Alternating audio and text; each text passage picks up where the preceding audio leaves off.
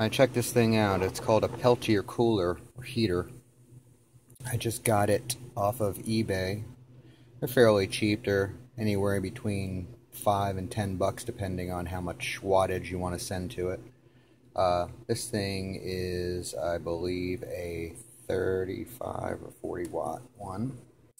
And basically, if you just give it a positive 12 volts on this side, you get uh, a cooler, it freezes.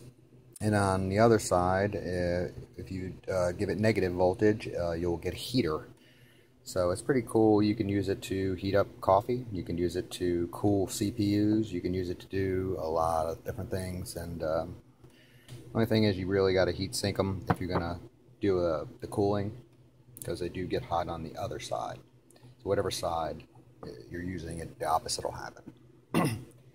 and uh, See, right now, it's I have it off, so I'm going to turn it on right now.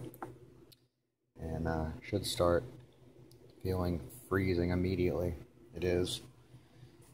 So I could just, so I'm going to take this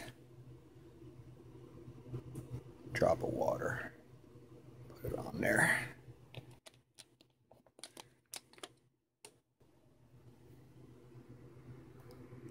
closer on that.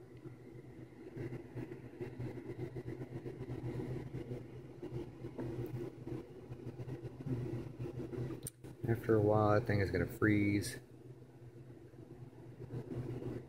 It's already starting to freeze.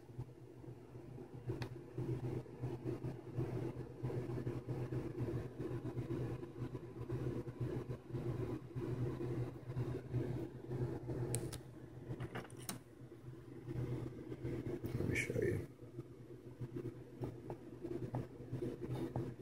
You see now it's ice. That's it. Solid ice. Pretty amazing. I'm going to turn it off now.